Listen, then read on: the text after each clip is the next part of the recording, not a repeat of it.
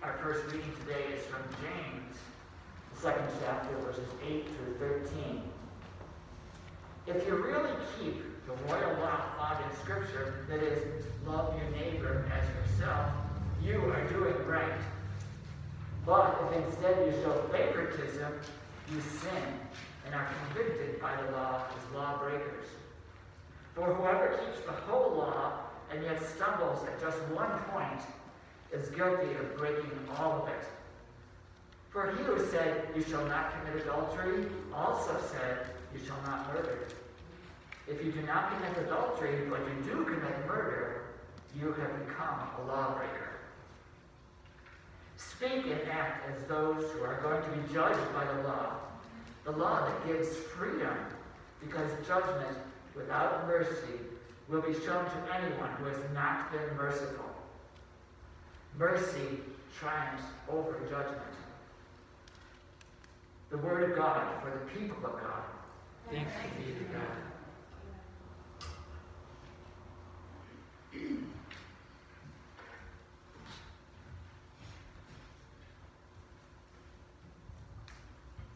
Let us pray.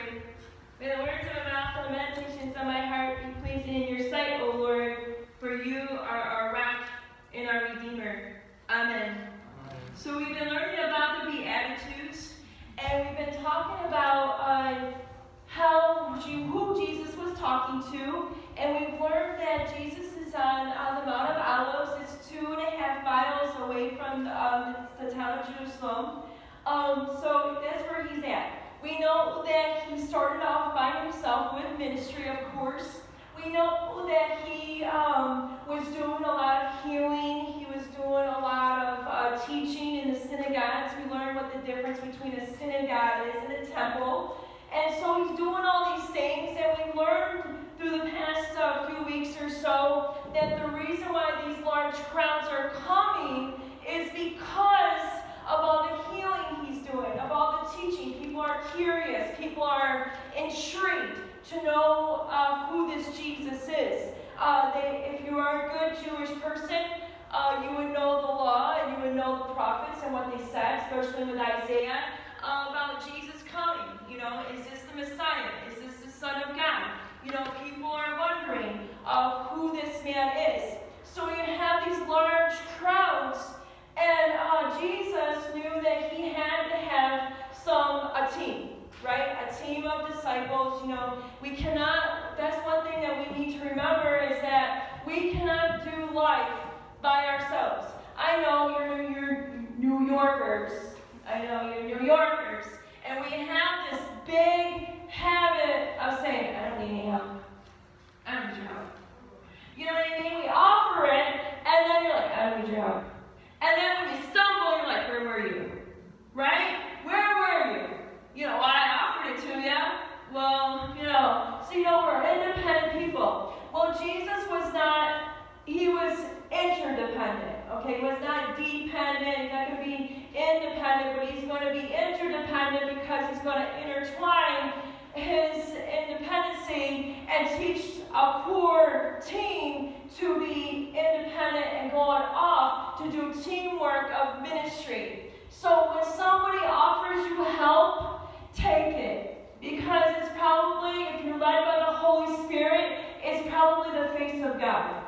There are so many things that we go through and so many situations in life that we go through that people are offering uh, to help us through, and then we're like, no, I got it. I'm independent. No, take it. Take it because it's the face of God. I can't, you know, God does not want us to suffer. He wants to teach us things, He's going to discipline us, but He doesn't want to watch us suffer. And can you imagine Him uh, sending somebody in your life and you got these problems and everything, and He sends somebody in your life and you're like, and you're like, no, I got this. And then God's up there in heaven, you know, and He's like, oh, I'm trying, you know, you're not listening to me. Those kinds of things. So remember that uh, you cannot do life, we cannot do life by ourselves. We need each other in order to do ministry And in order to uh, accomplish things and get through grieving, to get through loss, to get through our problems, we need each other. That's why we cannot be judgmental. We cannot condemn. That's where the mercy comes into.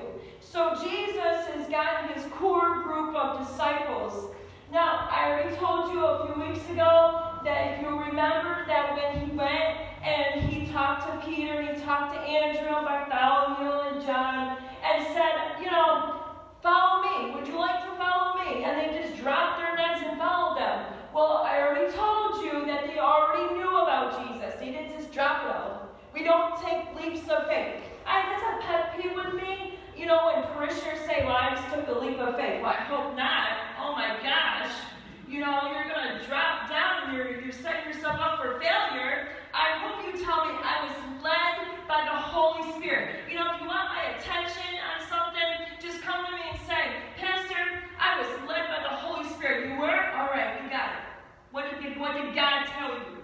That means more than saying, I took a leap of faith. What do you mean you took a leap of faith? That means you didn't pray about it. That means you're not led by the Holy Spirit. You just leaped out and took it.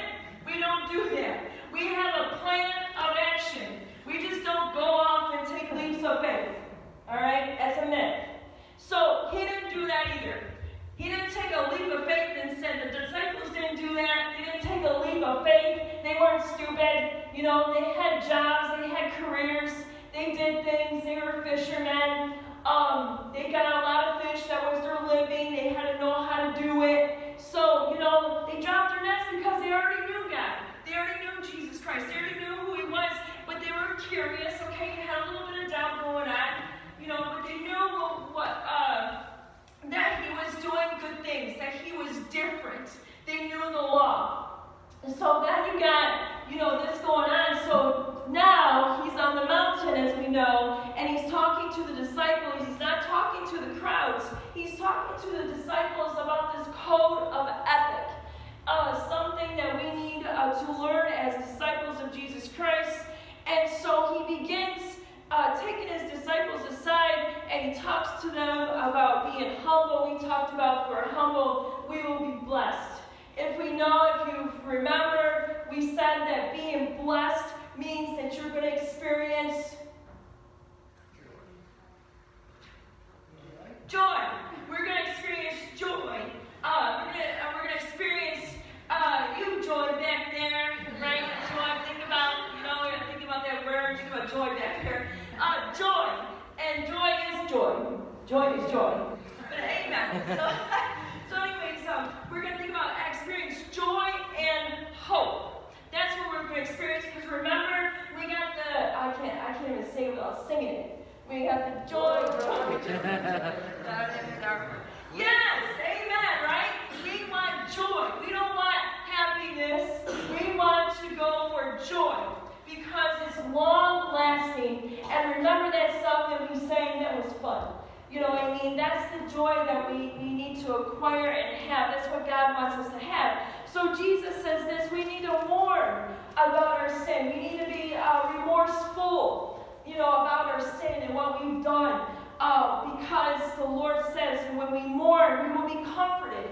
We will have people coming down our journey path of life, the face of God, to be there for us. I can't tell you how many people have been in my life that have helped me get out of certain situations or problems or whatever that people have been non-judgmental and have stood by my side. I wouldn't be who I am today if it wasn't for that core group of people throughout my life since I was a young child, you know, growing up, if I can, you know, reflect back on. So we, we, we learned that uh, a couple weeks ago, and then last week we talked about gentleness.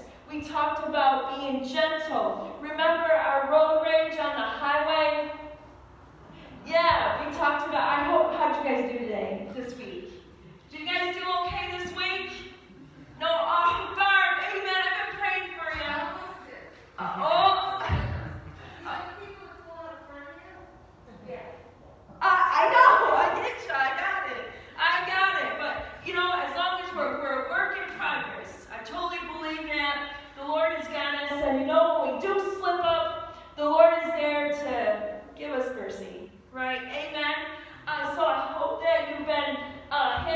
road rage, road rage, road rage. What a tongue twister. Uh, you know, and, and, being able to be aware of those issues uh, that we have uh, talked about. Those so we want to be gentle. We want to. Uh, so then the next part, we're, we're going to skip over uh, Beatitude six. We're doing actually Beatitude six next week. Uh, so I'm going to um, ask you about that week as we go about our business and then come back next Sunday and let me know what you think what it means to be filled.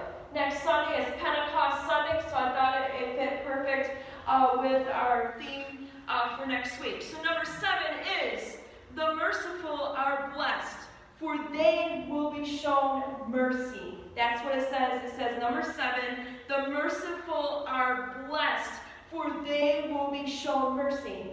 Do you know that you cannot give mercy to people unless you've been given mercy. Do you know that? You cannot, because you will not be able to feel what it's like to have mercy given to you. It's, it's kind of like uh, having situations where you're not familiar with. You know, if somebody loses their child and you've never lost a child, you don't know what that feels like right? You cannot, it's hard for us to relate. Well, that's the same thing with mercy. If we've been given mercy, we know what that overwhelming feeling of a burden being lifted off of us, that, that uh, roadway being restored, the relationship being restored. And if you all are sitting and you raised your hand a few weeks ago and told me that you are a discipleship of, or disciple of Jesus Christ, then you all have received mercy. You all have. So that means that it is your job as a disciple of Jesus Christ, as part of the code of ethics, is to be able to show mercy to those, this is the kicker, to those who do not deserve it. So, uh, so for instance, you know, if um, if uh, Barb, Barb's gone for a minute. So anyway, so for instance, when we talk about road rage, you know, if someone cuts us off, we say we give them mercy. If we haven't done any of the fingers or the sign language we do or whatever we do. So, you know, if we if someone cuts us off and we let them go by, we're smiling, you know, everything's all good and everything, and we really need it, then we just give them mercy because they didn't necessarily deserve it. It's kind of like getting pulled over by a police officer and you have like a wrapped sheet of tickets, like myself, and uh, speeding tickets. And uh, you know, the police officer pulls me, pulls me over, and I'm just there praying, Lord, give me mercy, Lord, give me mercy, Lord, give me mercy, please give me mercy. Oh my gosh, she's in that car way too long. He's doing a ticket. I know he's doing a ticket. Please, Lord. And I'm just thinking about all the money and all the defensive driving class I gotta do again, you know, all this stuff. And then when the, when the police officer comes to the window, he's like, I'm to give you a break. Oh, praise the Lord. God, and then you're like all happy, right? Oh, well, I am. I'm like, oh, God bless you. God bless you, man. You know, that is awesome. And, you know, to feel that relief, you know, that, that just that relief just flows off of you. It's kind of like getting in trouble, you know, you're in front of a judge or something, and you did get the ticket, right? You got the speeding ticket. You go in front of a judge, and then you're like, oh, please, judge, oh, please, judge, don't take away my license, don't suspend it. I've been there. I have. I've been there in front of the judge, and I'm like, um, oh, please don't suspend my license. I, I, I'll be better, you know, no problem. And then the judge will be like, if you do that one more time, I'm going to take away your license. And I'm like, Praise God. I get to walk out of here, you know, um, and have mercy. I remember uh, being single uh, with two children at one time uh, for a year. And I remember that I couldn't afford my car insurance and they suspended my license. Uh, do, you, do you think I stayed home with two children? No. I had to go to work. I had to go to work, I had to drop them off at daycare. So I, I could not, I, I, I, I drove. I drove. I had a suspended license, right? So I remember that I um I got the ticket, right, for the suspended license, and then he sent me to, um, I had to go in front of the judge, but there was nobody else. I went into his office and I just said, you know what, sir, um, I'm a single mom, and I, I got the, I, I have a suspended license, and I know you can do many things right now, but, um, I, I have to go to work, and I don't have any other way to make money. I can't walk to work, and I gotta take my kids to daycare, and he said, I'm gonna let you go. Absolutely. You know, I cried. I walked out of the out of his uh, chambers and I just cried in the car because he let me go. He I actually got my license restored and was able to pay my auto insurance. You know how if you don't pay your auto insurance, they they knock that out. And I was able to get restored because he gave me mercy. So if you take the time to be able to think in your life and reflect all the times that you've been given mercy, then why is it so hard for us to give mercy out? Wow. Something that we need to think about is why, since we have been given, I can tell you many, many stories in my life of mercy been given to me and I don't know why we have such a problem giving it back. So, I would like to do a little uh, example.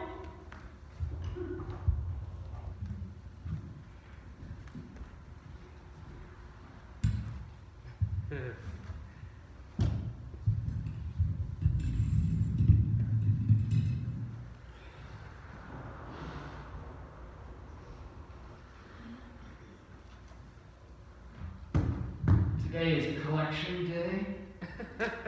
Can the, can the ballots please bring in our, our, our debtors? Master, master, master, I owe you so much money. Ma- Let, Master, let me look it up just a second, please. master, please You're very high on this list, you I, I, know. I know, master, I, I know. talents is what you owe. I know, master, but this, sorry. I'm sorry, this has to be paid today. I can't find any work, master. I, I just need your help. Please, master, please. I, I, I have children. I have a husband. You have children? Yes, yes, yes, master, I do. I, You have to take care of them?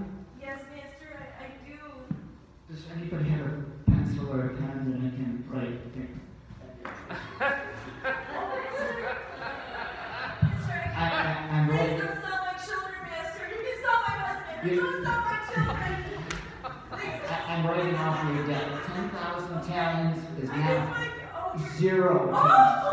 Oh, oh, yeah, really, mister? Yes. Oh, oh, this is great, mister. This is great. Oh my gosh, this is so awesome. I just been freed of my debt. Oh, okay. Let me, let me collect, let, let me, uh, let me collect. Thank you, master. Let me collect myself. Okay. All right.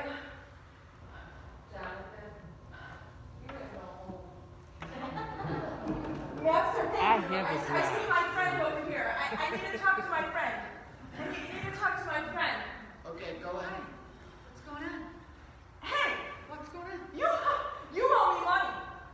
Oh, Yeah, yeah. okay. I loaned you money like two months ago, man. Yeah. Where's my money? Um, I've had a little trouble. I really don't care. Okay, but, um, I promise, No. next week, No. I really No. think I can have this taken care of no, next no, week. no, no, no, no, no, Yeah. no, no, no Yeah. way, man. No, you Yes, owe me money. I No, I want promise. it now. I I want it promise. now.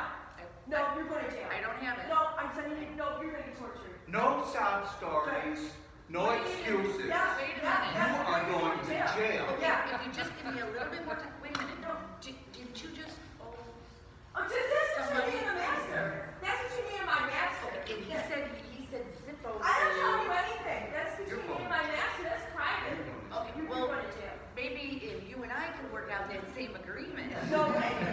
No way. Just, but what No. happened there, could, No. we No, could maybe. You don't make debts, No. then you don't have to pay You gotta go. I, You're You going to got. jail. You gotta go. I think No, that no. if we think about No. this, No we can No. No. make a deal. No. No deals. You owe me money today. Show me a little No. sympathy No. for, did No, no. how happy were you just No. a minute ago No. when he said you No. don't know that? No. I'd like to be happy. I, I'm sorry I can't do this right now. Do I have to drag her or what? What do I have to do? Talk to the hand. Okay, could I, could I talk to the guy? Could I Talk to the hand. Could I talk to the judge that's Talk to the sympathetic? hand. No, he's fine. Should I talk to the guy No, that's no, nice? Yeah. talk to the hand. Sympathetic, nice guy over there? Ma'am, Yes, sir? I, Yes, sir? I- I've been watching all along here. Oh, yes, sir, I And got you in, in your dealings with Denise, Yes, sir, I got you last. you were being very judgmental. I did not see any mercy there. Oh, you, s- oh, really? Yes. Oh, wow. Do you know what happens now? I, I, no, mister, no, Yes. mister, no, mister. Jonathan is going to keep you in prison until all ten thousand are paid. Oh, Let's Show go. Oh. mercy. Go.